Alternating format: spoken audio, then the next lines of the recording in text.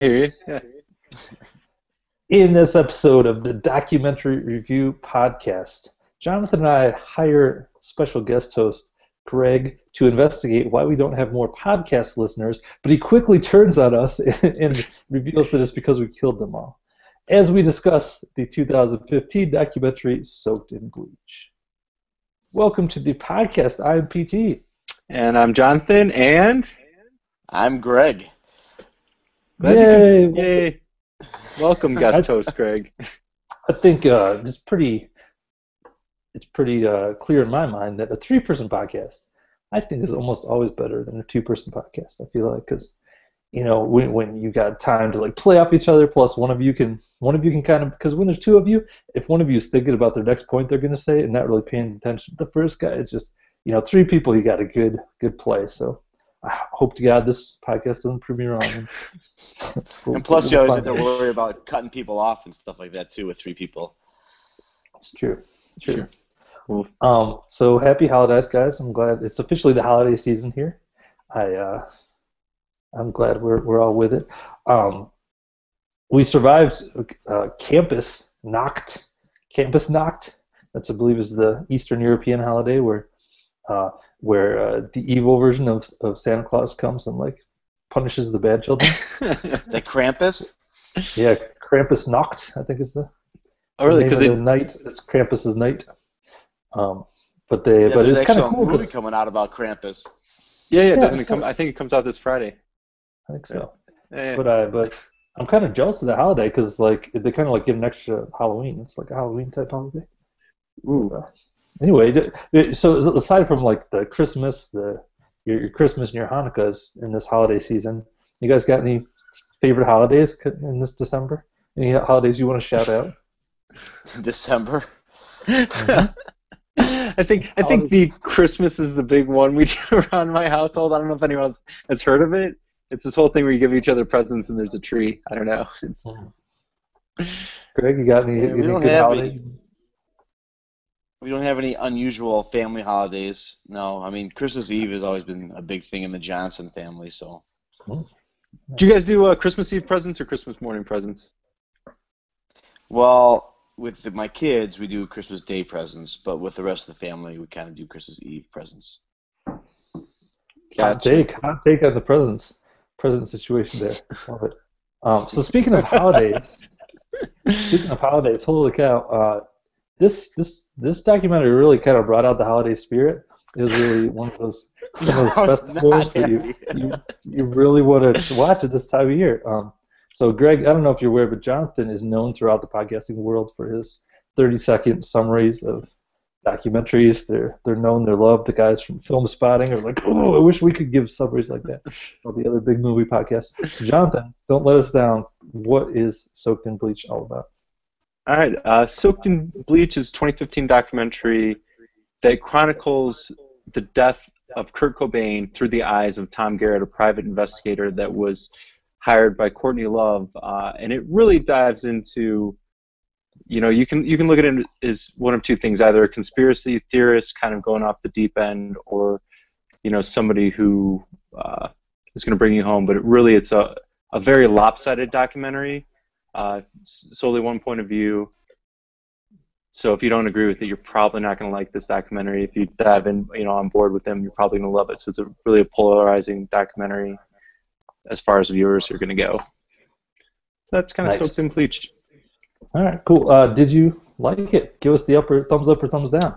Give this one a thumbs down. I did not like it. Mm. Okay. Greg, Uh, thumbs up or thumbs down for you? Well, unf- like I found it extremely disturbing, but I did like it. I, I did like the documentary. I thought it was a good story to be told, and I, I found it extremely interesting. Okay. Thumbs up from Greg. We got the. Oh man, man, I'm We got a- excited. about- You are. And I'm very, I'm very borderline on this. Um, I think, hmm, I think overall I'm gonna give it a thumbs down, I guess. But here's so here's here's my Oof. well before before we get into that whole, but I am pretty borderline on it. I, like there's a lot I like about it. But let me ask you guys this before we get into like the whole discussion of the documentary.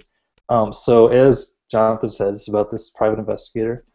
so like okay, so at the beginning he's hired by Courtney Love, right, to find Kurt Cobain, her missing husband.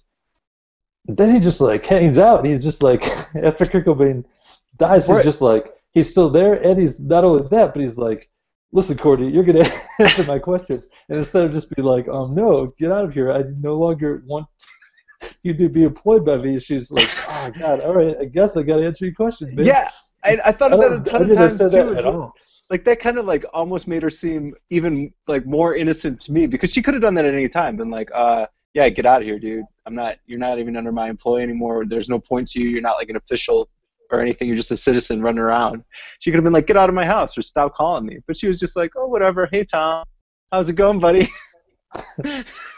Yeah i thought of that too. Like even if i would have been like get get the heck out of here. What are you doing? Yeah, like I that- kind that- of like it was kind of it was kind of my understanding why Tom continued the investigation was I think he was embarrassed because he didn't find the body. I think I think he was almost embarrassed that the body was there for a Dude. couple days. Yeah And so I, I think he truly felt that the wool was pulled over his eyes, and that's why he continued the investigation. Well, I gotta say one thing, yeah. They, and they brush. They do like blow over that point in the documentary where they're like, they're like, "Gee, Tom, some people make fun of you because for four days you were at the house right next to the body and you're a private investigator and you couldn't find it." And they're like, "Well, you know, it's kind of hard to see that in the dark." I was like, "No, that's." they- They're like, "We're looking for something. Where could it be? We've got the house and the garage. What could we? Where could it possibly be? We checked the house. Guess we can't find it." I was like, "Why?" They why didn't you look in the garage? Even if you looked in the bottom part of the garage and been like, we searched all the bottom part of the garage, but I didn't know there was an upstairs. That would have made a little more sense. But it's like, dude, check the Th- th- garage. This this this part this part was actually kind of confusing for me, and I did watch the second time, and it appeared in the recreation that they parked in front of the house. They didn't park like in the garage, uh, in the driveway. So Yeah, he just went into the house, and so he didn't even know that garage was there, or that they call it the green room or whatever. He had no idea Yeah. that building was even part of their property. Yeah, Yeah. that's kind of what I thought too. That it was like kind of, kind of. I didn't. Even, I didn't think it was even the garage. I thought it was like a separate building off No. back, like behind the house. yeah, I'm pretty curious. And again, this is one of many points I'd be a little curious about. I got the impression, like from like the crime scene photos and stuff like that, that it was like the the greenhouse was the the room on top of the garage. Like it looked like because in one shot there was like actual garage doors on that building. So like underneath Yeah, was that's the garage. exactly what it looked and- like. Yep, and then on top it just had that like an attic that had been converted into a greenhouse or or whatever, a storage unit, whatever you want to say call it. But again, it, it, it seemed like yeah he should have been especially because he wasn't necessarily looking at, on some of his trips for Kurt. He was like we want to find the shotgun, and it, like if somebody asked me like you know let's go look for the shotgun, I'd be like well let's check the garage. I mean look through the house first, and the garage seems like a pretty logical place to put you know a shotgun or something like that. Um, but anyway, yeah, that minor point, but I still thought like yeah what the hell? I mean why didn't this guy check the other building? Yeah, that, I, do, like uh, that. That makes sense though, Greg. I like your point about that. He was he was embarrassed about that. I hadn't thought of that. Um, So I, so Yeah. that's that, that's kind of my assumption of why he continued this the whole story. I mean, because quite honestly, you're because you're right. Because once he was hired to do a job, and then once they found he was dead, I mean, it was like his job's over. Why, why did he keep going? Yeah, Right, but why did, why did why did Courtney stop him? Like at one point when towards the end when he was like interviewing that one Dylan dude and he was like, yeah, no, I got to ask him like some super important questions right now and all this stuff. Like why why did Yeah. they just be like, no, uh, get out of here, buddy? he, here's the other thing that, that killed me about this that just made me like think that Tom Grant's kind of an idiot. It's just like first he's like he's like yeah Courtney Love was acting really suspicious from the beginning. She was acting really odd. And then the next sentence he's like yeah she was in a room doing drugs. She was either on drugs or doing drugs every time I saw her. It's like yeah yeah she she was acting a little odd. She was super high. She's a drug addict. Yeah, that makes sense. And like when that other Dylan dude comes, he's like, "Oh, why'd he go upstairs to get coached by Courtney?" He'd be like, a heroin junkie came over to a place that there's heroin, and the first thing he did was shoot up. Like, yeah, I don't think he was trying to avoid you as much as he was a heroin junkie around heroin. Uh, so yeah, there's, and he, he just didn't seem to understand that at all. Like, these people are drug addicts. they don't quite operate on, you know, a normal, sane, sober kind of plane. Yeah. Um. So, well, well, first of all, what what a weird like circumstance that like that like Courtney Love just called that guy out of the yellow pages, and now apparently that's just that. I don't know if that's that dude's life or what, but it kind of seemed like that. Seems like that's, all he does. Deal is like uh, doing that.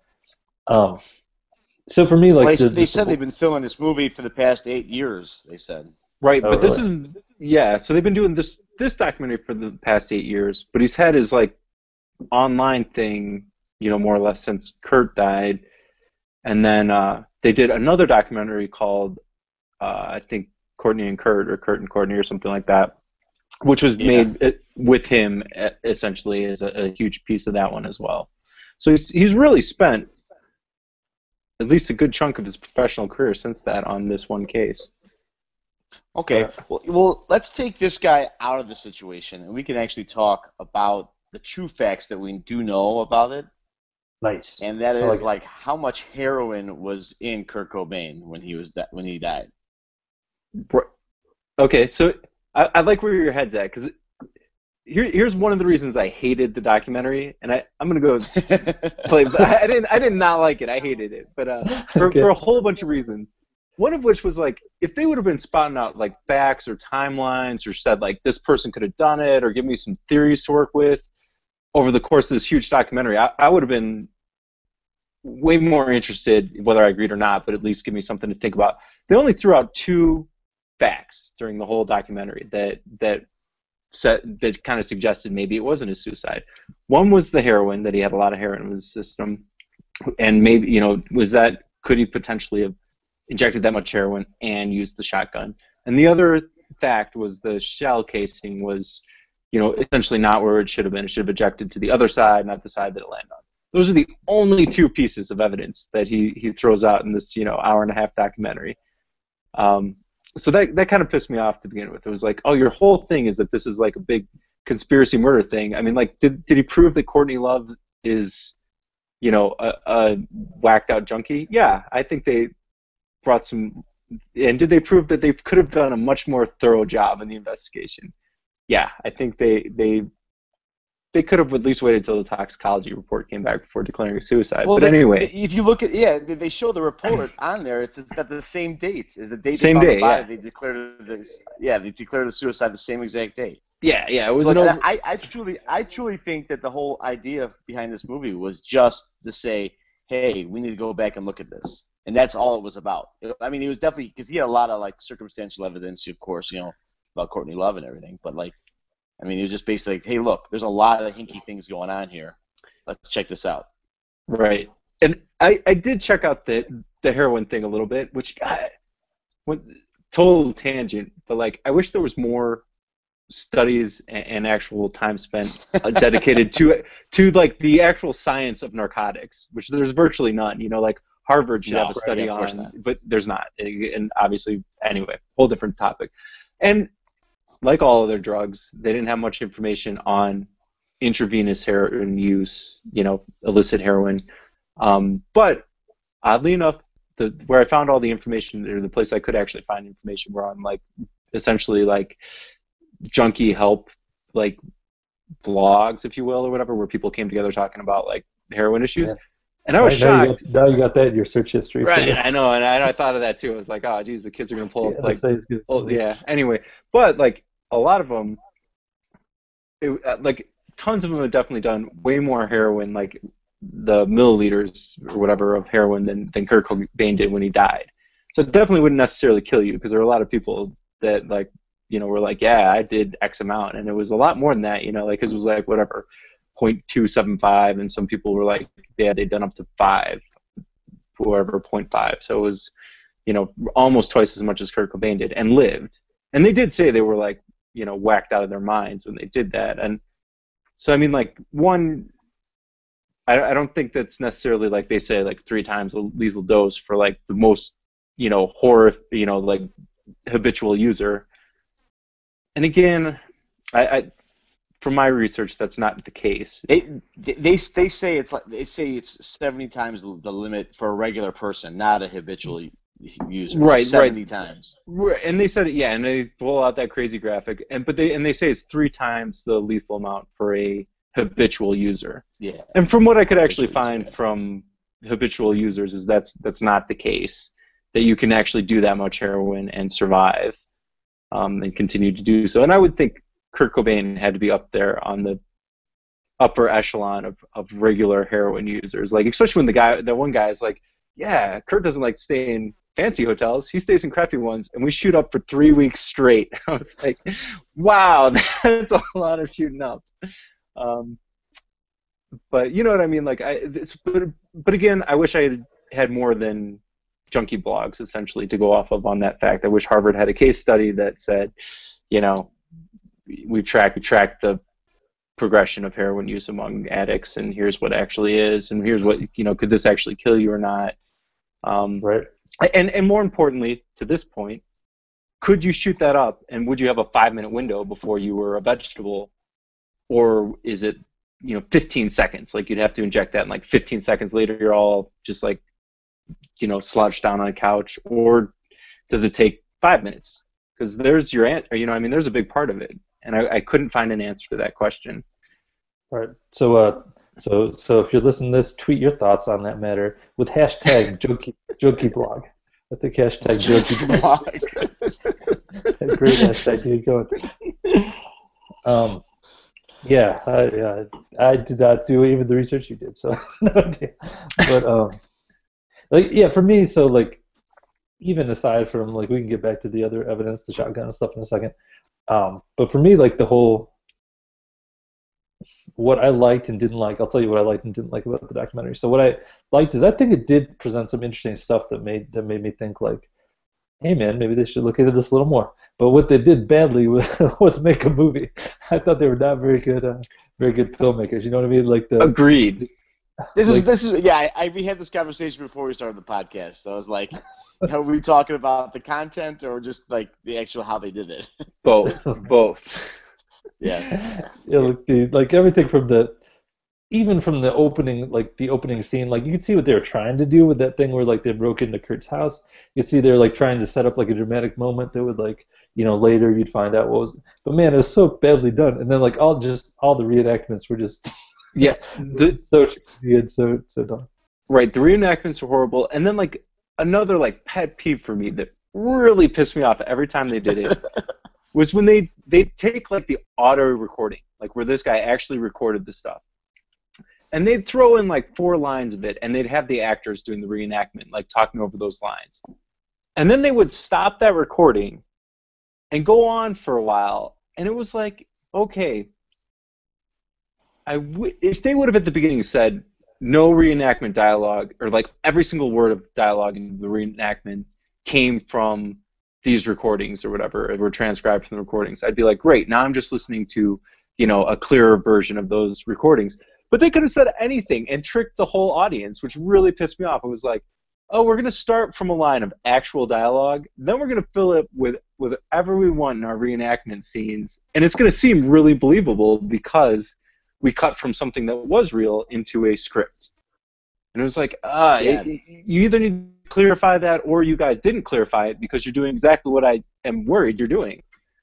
That was confusing. I agree. Uh, that was very confusing. But I mean, I liked how they used the actual re- original recordings. But like again, yeah. like you said, they switched over, and it was like, I hope they just switched over just because you couldn't understand it the, on the on the original recordings or whatever. Right. I have a feeling that's not the case. I hope I'm wrong, but I have a feeling that they were just like, well, that part was real, and now we're gonna now we're gonna fill in the blanks with what we want, but it's gonna seem really real because we did it this way. So I yeah, that like that that that'd be like that's a fine line there they're walking. Yeah, it is. Yeah. Yeah, I've I've seen this I would documentary. If it's not on the.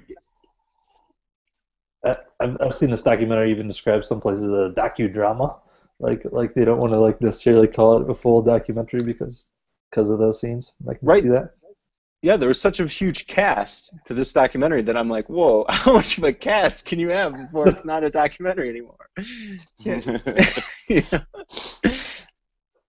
But uh, I assume it's because they couldn't get any of the original players to actually be in it besides Tom Grant. I would have yeah, liked to hear no, that conversation no. with Courtney. Could you come and reenact some of these phone calls? That'd be no, sweet.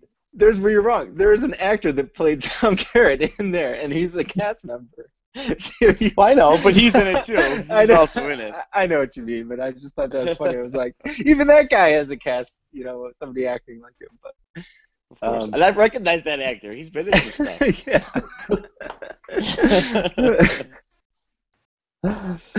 yeah. Um, okay, so so uh, yeah, uh, yeah, just the filmmaking really got to me, and like the, it was very, I don't know, I couldn't figure out if I was dumb or just, or this movie was like, there's so many things with the timeline where it's just like, wait, what? Where, Yeah. where are we now? What's what's happening? that was another huge pet peeve of mine was like because first they that very opening scene it's like the day before and they never even say the day before the body was discovered or the day which eventually you're like oh, okay that's their their before their their their check mark in the timeline is the discovery of his body but it takes you a while to figure that out because the first time you're just like the day before the day before he died the day before what happened i don't know and uh, as it turns out it was the day before the body was discovered and they work it all out of order for the timeline, which really pissed me off because it's like if you're gonna try and make a crime drama out of this, show the stuff you actually knew when it what happened. Show this the timeline of Tom in order, so I can put these pieces together on top of each other and, and try and see what's going on. Like what are they trying to prove? You know who who was theoretically the killer, but they didn't. They just made it really confusing and threw it out of order, and that that pissed me off too. But I have I have a moment where this documentary like where I, because I started off watching it and I was like, ooh, you know, did Kurt Cobain, you know, I was open to the idea that there was something going on here. But uh, my big moment that they were like, and which happens pretty early on, is they're like, yeah, so Kurt Cobain wasn't even suicidal. That's just some weird, you know, mythology that was based around him because his lyrics were kind of crappy.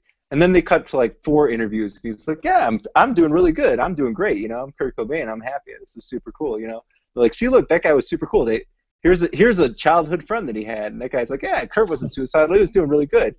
And then they're like, yeah, I mean, like, sure, he just overdosed, whether it be on accident or purpose. Uh, he's a massive heroin junkie. He just checked out of rehab. He's getting a divorce.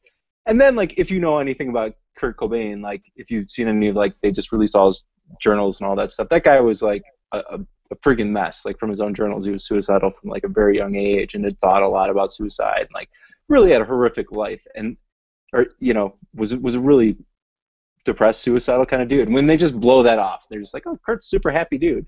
I mean, yeah, he just got out of rehab and he's getting a divorce and he's a heroin junkie, but he's super good. Like, okay. no. That part, didn't didn't bother me as much. I, I like I guess I saw I could see that from their perspective that like like I didn't read it as like no he's definitely very happy, but I I could I could see the perspective of hey this is like a maybe a little bit overblown that he's suicidal because like like I know there's like especially just the taking stuff from his lyrics and all and all this stuff. Um, I, I hate that when people take take art like super literally and, and want to interpret stuff about the artist from it. And uh, yeah, the, like I'm not saying he wasn't suicidal. I don't know if he was or not, but but uh, but I could see what what they were getting at, and that didn't bother me at all. I, I could see that too if and you know if I didn't know anything about Kurt Cobain other than this documentary I probably would have been like oh yeah well he looks really happy and he says he's happy in there but like you know if you go back through that guy I mean he's he had you know whatever like he always refers to like how shitty his childhood was and like how he hated his stepfather and how he was estranged from his mother and like you know what I mean you can't just blow that off and they totally did and it just it just pissed me off right there I was like oh okay so basically you're just gonna like bend reality to the point where you're like, see, look at, it. he's fine. There's no way Right, that guy well, uh, yeah, I don't, I don't know. I, th- I think it is worth. It, it is an interesting point that like just because someone is like, I think because I think Kurt Cobain was very much like manic depressive. Is I don't know if he was like clinically manic depressive, but he would go through like very very high, like super excited and happy about everything periods and very low periods. And I think it's dangerous to be like when someone like that, you know, like well of course they're Sure, sure. and I and I think they I think they really played off of that too. If they would and if they would have said, hey, he's manic, and that doesn't necessarily mean he's suicidal, I would have been like, okay, good point. But they weren't. They were just like, obviously they knew at least that much that he was at least manic, and they were like, okay, here's his super high moments. We got some of those on tape. We're gonna play those 40 seconds of his life where he's in his highest points and saying like, yeah, I'm super happy. Where you know, again, he's at least manic, if not suicidal. And there, and instead of being like, you know, hey, he's manic, he had no sui- no, you know, real history, and present like a real case to me. Don't just be like, we're gonna take a couple sound bites and then be like, nope, not at all. Just that goes out the window, and that just that just made me feel like they're trying to look at me like I'm an idiot and I've never heard of this guy, and it it pissed me off at that point. So Fair enough. Fair enough. yeah. Um, all right, so let's move on to any, any any other evidence, Greg, that you want to call out as like that you thought was interesting or leapt out at you in particular. Um, I mean, the the one thing, and this is funny. Like my wife and I, we actually, I don't know, we watch like 48 Hours and stuff like that, like crime dramas and like real crime and stuff like that. And the one thing that really left out of me about this was that if the roles were reversed, if this was a woman that was dead and and the man was the one saying these things, I can almost guarantee the cops would have been looking at him for murdering her. Interesting point. Like men have, I, I, like from what they, all the circumstance, like because she had massive motive. If they truly were going through a divorce, that's the one thing that she really had It was crazy. There's crazy motive for her to do this, and so a lot of times that's all cops need, and they'll take that and run with it. It's so, it's I mean, like, I just like, again, like, like I just there's again, I just all I, all I think that this movie was really trying to point out, what I really think is there should have been much more of an investigation into this, and uh, to me, it seems like there's plenty there's plenty there for the investigation to continue. Yeah, Yeah. and that's that's that's where I thought the movie really shined, and, and why I didn't want to give it a full full heart, full-hearted uh, thumbs down. Is just that yeah, I think I, I, I definitely agree with that, and I think that where the movie really shines is when they like brought in the the Seattle the chief of police from Seattle and brought in like forensics experts and stuff like that. That was interesting. Yeah, That the was friend, the all- handwriting experts, Yeah, that, the, that was all ling- the linguist experts and stuff. Give me an Yeah, the- hour yeah, the- of that. yeah, the an suicide note- that. The suicide note was actually kind of a big thing too. They talk about in the movie as well. Right. And again, that's that's another one of the things that, that Tom Grant missed apparently that because it, was a, in that bed and he said he looked through the bed and he didn't find it. Yeah, You know? yeah. The the second suicide note or the second letter, right? Because I mean, like, the actual suicide note. Yeah, the actual letter. no, There's the actual. There's only one. Right, no, but the one that he didn't find was that it wasn't under her bed. It was actually in the greenhouse or whatever. It was. It had the pen through it and was stuck in the flower pot in the greenhouse. The co- the Okay, note, yeah. the other, the note Courtney was talking about that was under the pillows, where they have that conversation. He's like, "I looked under the pillows," and she's like, "Well, it was under Oh, the yeah, yeah, pillows." okay. That was just like a second note or whatever. Um, they never tell you Okay. what was in it. But anyway, yeah, and again, like the the suicide note, I'm curious about, and like one thing like that makes me, and again, if you knew, you know, Kurt Cobain and it had like access to all his writings and stuff like this, again, you could theoretically fake it, but like um. Because at first glance, the suicide note looked a little ridiculous because those last four lines are all like in a different font size and written differently than the rest of the compressed note. But like, if you've got a minute, watch uh, Montage of Heck, which is super depressing. So if you want to be really depressed and watch a, a you know a crazy documentary thing, check it out. I'll but the one on thing, that.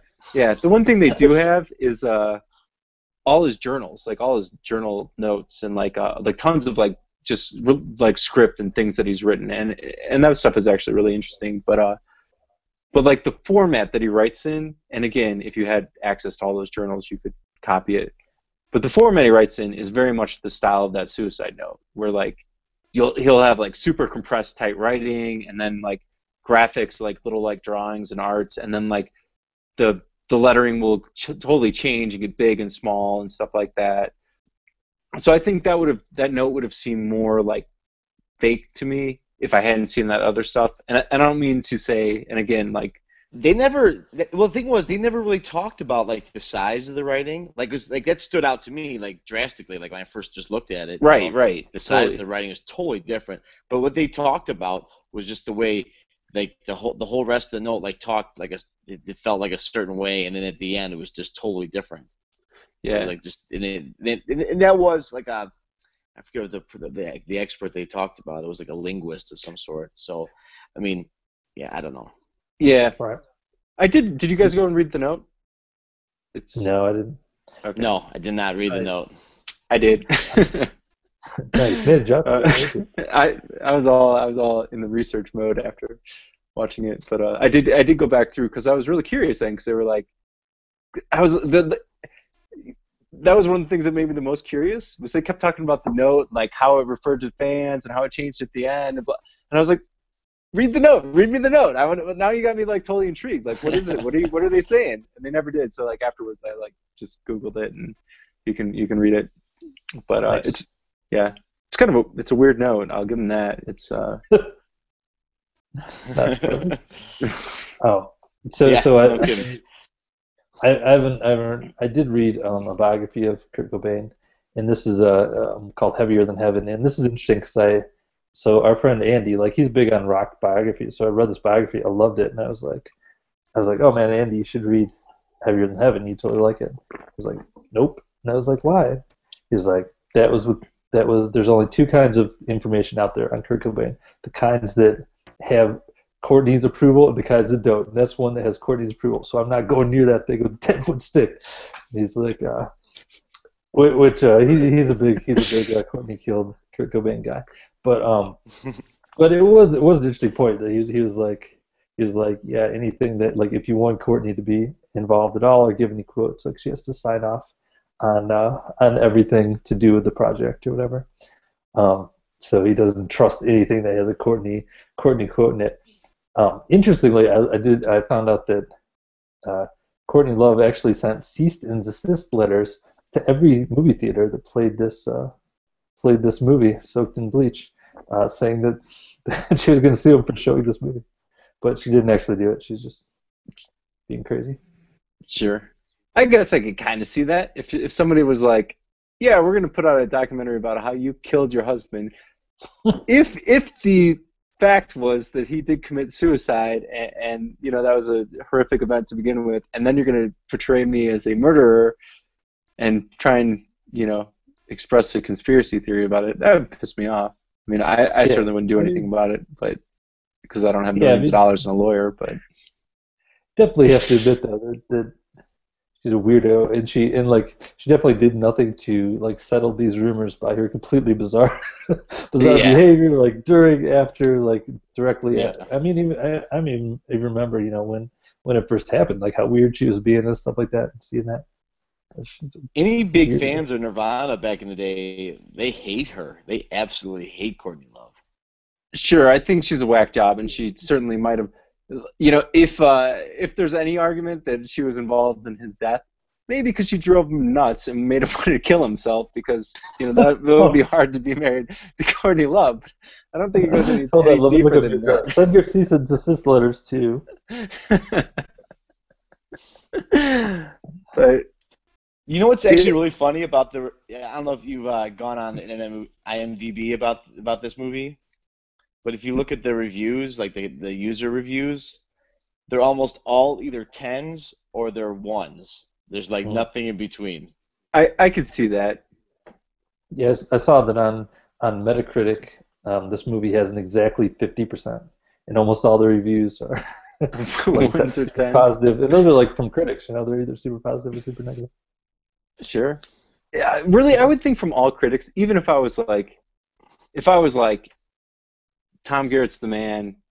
Courtney or Grant. Kurt, or oh, John, Tom, he, oh, is it Grant? Grant? Tom Grant. Sorry. Yes. Sorry about that. Tom Grant's the man, and and and Courtney murdered, you know, Kurt. I'd still, as a as a critic, be like seven, just because you you made such a crappy documentary, and technically it's so sloppy and horrible. I got to take away three stars from that, but it's a great message, so you get the other seven. You know. right. Um, like one one coup that this documentary definitely does that you have to give a props for though is that I think at least is that spoilers I guess if we haven't spoiled it already is that you know like at the very end they like they you know the the chief of police in Seattle says yeah this should be if I was in charge I would reopen this investigation. That's like there. That was like the money shot. You had you imagine if you were the documentary filmmaker and they said that you'd be like, yeah, got it, done.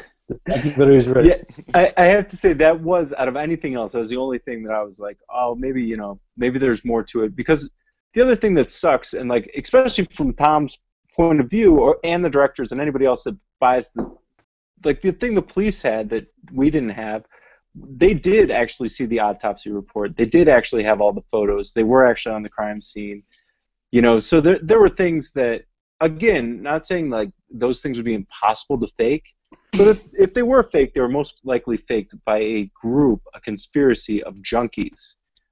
And, and you know, those things, you know, if you gave a Navy SEAL the duty to go kill, you know, some junkie, he could probably pull that shit off, no problem, make it look like an accident, no one would be the wiser.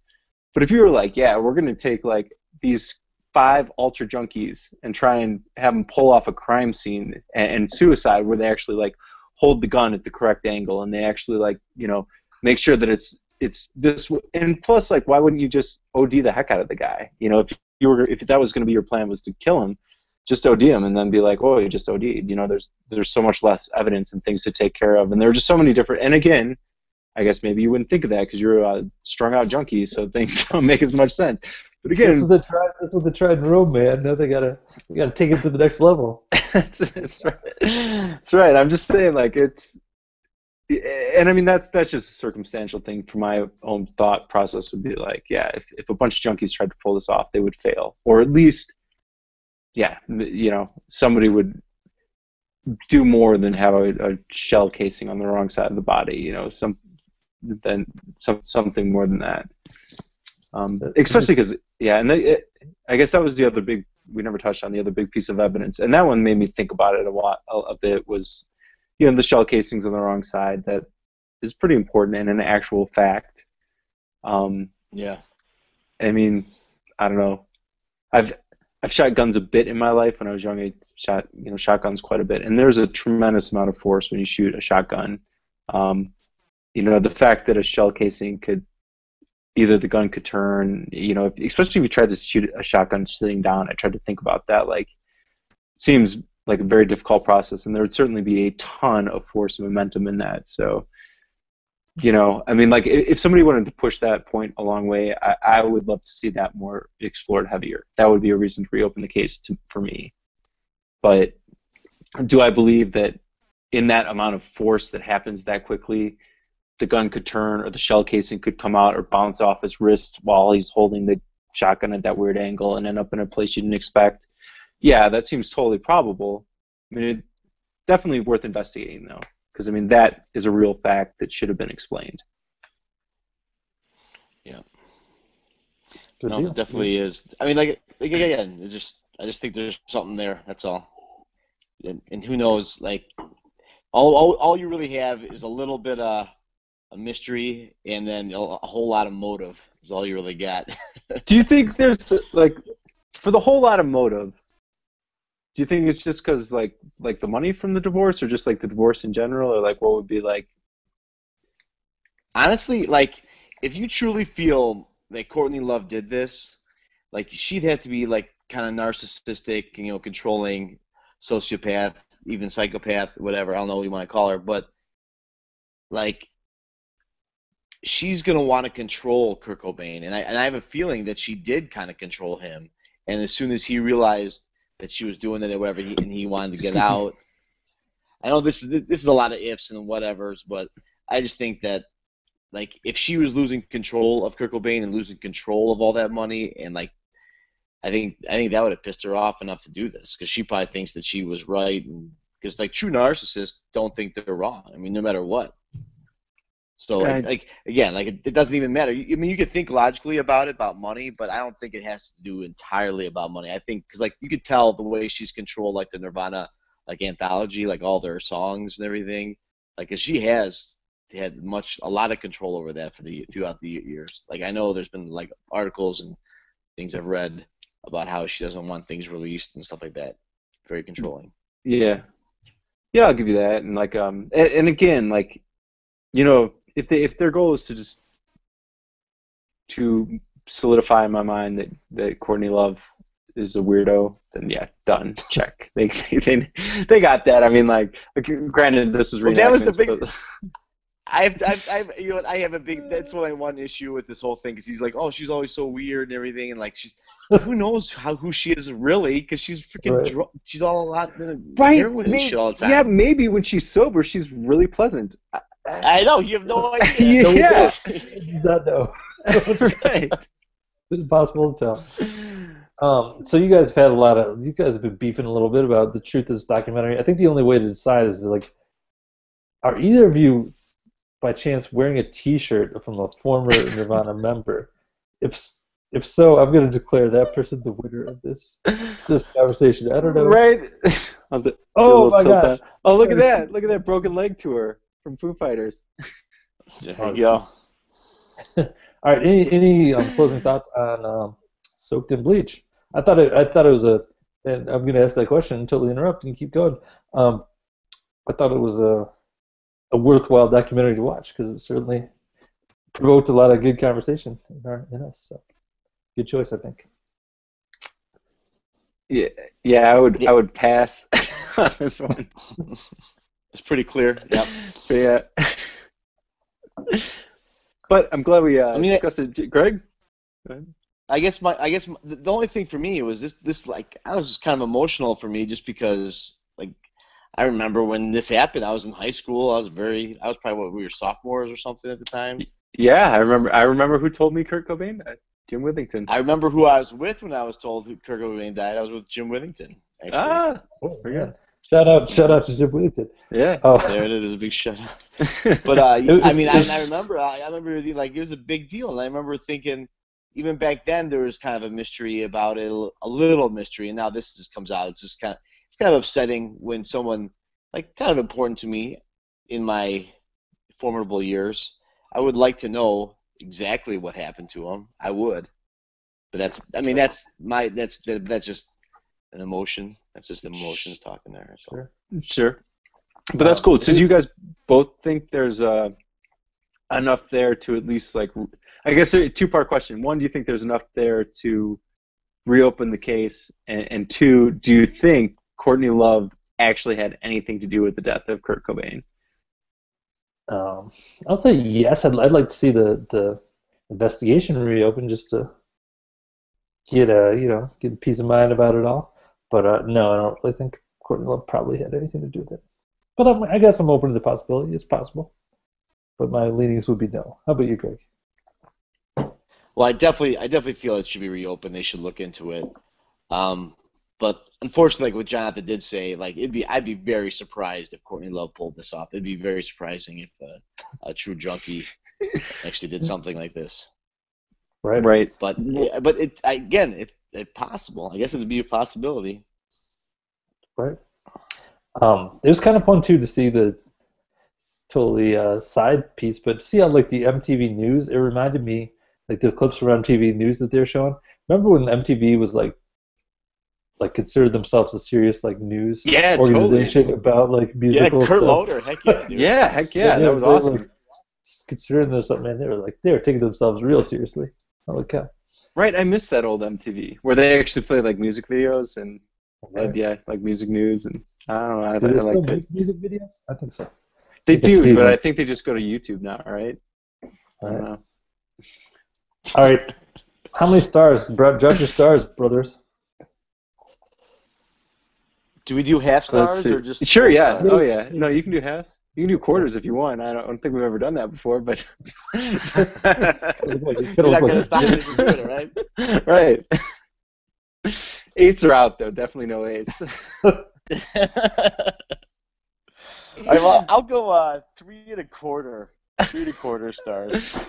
I definitely was. I was definitely entertained by it, but like, like, like, like, there were definitely flaws. In it. I mean, the, the story itself was very interesting to me, and I, I actually really liked finding like the information out. You know, the pet, like the last few days of his life, that kind of thing. But Right. like documentary, like the format of it was no good, in my personal opinion. Indeed. I'm, I'm pretty close to my thoughts. I was thinking uh, three stars, exactly between one and five. You know, it was, it was, I'm, I'm, I'm glad I got the information. Didn't like how it just delivered. Jonathan, All right, I'm, going for, I'm gonna go pretty harsh on this one. I'm gonna give it a one and a half. It's, it wasn't the Hmm. bottom of the barrel. There, there were things that there were like two good moments in there, maybe three of like when they when they actually like you know threw out a couple things like the one the money shot they got with the chief of police, the ex chief of police. That was actually like pretty cool that they they were able to pull that into the documentary. Pretty much hated the rest of it, so it gets a half star for that. and, and the one for you know existing because I support all documentaries. So is is the one the lowest you could possibly get? I I think zero is a, a possible Okay. score. Okay. All right. So it's not a zero. It's a one they have. Got it. A zero would be like a murder film of his family being killed or something like that. right? Yeah. They, Not very likely. Um, all right, so Greg, we're at the part of the show where, much to Jonathan's chagrin, I uh, recommend a random something that I'm enjoying. Really nothing to do with documentaries, but I'm going to do it because I do it every week. So here you go. I'm going to recommend the Golden State Warriors to you guys. Are you guys following the gold, the NBA team, the Golden State Warriors at all? no. No. Not, no. Not at all. Okay, you both live in NBA towns that have NBA teams. I recommend you go to your schedule, look at when the the Golden State Warriors are coming, and go to that game because prior to this season, the uh, best winning streak was 15 and 0 to start. The uh, Golden State Warriors are currently 23 and 0, and uh, they are ridiculously awesome. They're cra- they're like redefining the game of basketball. This is a team that's going to be talked about 20 years down the line. There's a lot of talk that they're gonna they're gonna beat the 72 game uh, uh, wins of the uh, of the Chicago 96 Bulls. So Yeah. there you go. So Um, there's one definitely one of the best teams of all time, and uh, One of the best teams of all time? I don't know about that. That was Yeah, definitely the um, best team of all time, was it not? no, I'm talking about the Warriors. They're, they're they're definitely one. The Warriors are, are in the conversation for one of the best Oh, teams of all. gotcha. Yeah. The, uh, Uh, w- wow. Well, I gotta say, Tyler, I, I, especially since we had Greg on as guest host, I'm really disappointed by your your other things because normally your other thing is a lot like like a different podcast or typically Right. it's a different podcast, which and then plus they're always like so intriguing. Like you know, I'm always like, oh man, there's something I never would have found out about had Tyler not just told me about it, and it's really intriguing. And now like you know now it's like oh well one I I, pro- you, I guess it is probably good because I had no idea that there was a streak going on in basketball right now. That's how much I watch sports. So, yeah, um, but yeah. no, so you have zero interest in the fact that like one of the best teams. I, I that's why I picked it because I was like these two guys probably have no idea that like one of the best like the best accomplishments in the history of basketball is happening right now. I got to call this out to these guys and let them know. No interest, no care. No. Not really. Sorry. I I mean it sounds cool, I guess, but it, for maybe cool for someone else, I guess. Right. Well, the the Steph Curry, the the point guard of the Warriors, is like redefining the point guard position. He's like shoots crazy three pointers, like it, it, and it's really really fun to watch because he like the dude will be up in his face and he's way far away from the three point line. He just throws it up and it goes in every time. he's like the best shooter in the history of basketball for sure. Like, Really? Pretty much no debate that he's the best shooter. All right. Wow. That that's aside, cool. take that and put it How aside. old? How old is this guy? Um, I'm gonna say, kind of guessing, but I'm gonna say it's like maybe his fourth season, fifth season. So Okay. it's probably like So he's got some like time. He's got some time left. Okay. yeah. He's on the juice, All right. isn't he? I don't know. It's pretty. He's like a pretty cool guy. All right, three documentaries. These documentaries we're picking. Greg, this is the part of the show where we pick what we're going to be talking about next week. I lay out three documentaries, and Jonathan picks um, which one he wants to watch. He can take your input if he wants. It's up to him, though. Sure. All right. Here. So the first Wait. one is um, is called "Call Me Lucky." It's about a comedian named Barry Crimmins, and I heard this guy on a doc, on a podcast recently, and he talked about he was like molested as a child, and in the early days of the internet, like in the '90s, he uh, stumbled upon and discovered like a bunch of like child molesters like hanging out in AOL chat rooms, and no one was doing anything about it, and he was like, "Huh, this should be illegal," but it was like not illegal at all to like pass around child pornography on the internet. And uh, so he like went into action and like worked to get that to be made illegal. And uh, I'm not sure how much of the documentary focuses on that aspect because it says this film chronicles the varied career of bombastic comic and social critic Barry Crimmins and the painful past that inspired his peaceful activism. But anyway, that's that one. These are all three documentaries about people who some kind of small discovery that changed the world in some way.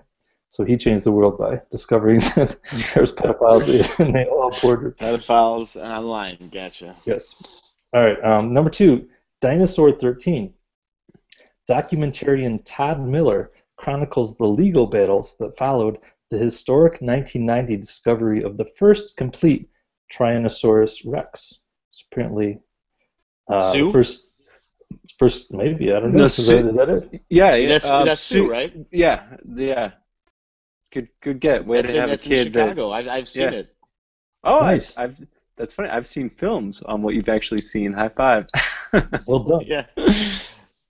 All right. So uh, another discovery that changed our understanding of the world at least a little bit. do, you, do you know the name of the paleontologist who discovered that? Her name is Sue. That's right. I don't know feel the last name. yeah, no, yeah. Yeah. Feel That's out of- unprepared for that. all right, so all right, so uh, so it's about the uh, the legal battle after the discovery of that. Yeah, yeah. Apparently, a bunch of people were pissed about the ramifications of what that discovery. Oh, meant. it was a, And they were- it's a big deal. There's no doubt about it. It was a big deal. Oh, all right. right, okay. Now I'm a little All right. more intrigued. Number three is if you build it, and this is a little bit smaller of a of a of a happening, but you know, changing the world in a smaller way. So this is a um, a basically a uh, what do you call it? Uh, like a like a woodshop kind of teacher in rural North Carolina who has a revolutionary uh, plan to train people. Uh, here's the. Oh, let me just read the description because I'm bombing this Yeah. hoping to renew the economic health of a rural North Carolina town. A designer and architect together create a new kind of high school design class. It's about these low-income kids who like get way into design and possibly in the the basically the, the reviews all say this is like a possible way to this this is like the best example of how to help people in low-income situations by giving them skills to like shape the future basically. So there you go. Those are your three documentaries. We've got Call Me Lucky, uh, Dinosaur 13, and If You Build It. What do you want to do, Jonathan? Feel free to phone a friend in Greg. If you Ooh. I think I'm gonna have to phone a, fr- a friend because these all actually sound interesting to me. Greg, what, what do you what do you think? What are your thoughts? Well, um, the funny thing is, I've actually seen a trailer for Dinosaur 13. So, Ooh. like, I don't know if that means it's just a higher end documentary, had more money behind it, more backing it. But I know, that third one actually sounded pretty interesting as well about the design school. All right, it did. Darn. Well, that didn't help me too much, but at least. all right, so you- you're out. Call me lucky. You're, you're toast. Not worth it. Um, I just watched a documentary called Slingshot, which is kind of like uh which if you're if you guys are bored and want to watch a cool documentary, it's uh it's about the guy that invented this uh the Segway, who is actually like really interesting guy, and, and he's working on some other even like that was just kind of like a footnote in his career. He's invented all kinds of crazy stuff, including if you've gone to the doctor pretty much ever in our lifetimes, you, you've used or you know been helped by things he's invented. Anyway, side note, check it out. It's really cool. But I think I'm gonna go with uh, yeah. If you build it, I'm curious to see what the best way to help uh, you know people uh, make it in American society is through education. Cool. All right. If you build it, we will be checking that out next week. Join us for that. In the meantime, you can email us at feedback at documentaryreviewpodcast.com. Please go over to iTunes, leave a review. Hey, I'm to say too, if you're if you're an iTunes listener, boy, it's been a, ro- a roller coaster ride for you because for about three weeks, no more than that, five weeks, we didn't. I didn't post a, a, podcast on there because our website was down and I couldn't post them. Uh, but since then, I've been posting one a day. So you were like, "Is this podcast dead?" And now you're getting one a day. So I just want to thank you for the wild ride that I've put you on, and uh, ask you to go leave a review. All right, thank you so much for going joining us, Greg. We appreciate you. You're welcome back anytime. And uh, My, yeah, And- my pleasure. no, the pleasure's ours. Don't Absolutely, we we all bow to Greg Johnson. Thank you, sir. All right, thank you so much for listening. We will You're talk welcome. to you next time. This is PT. Keep it real. This is Jonathan. We'll see you next week.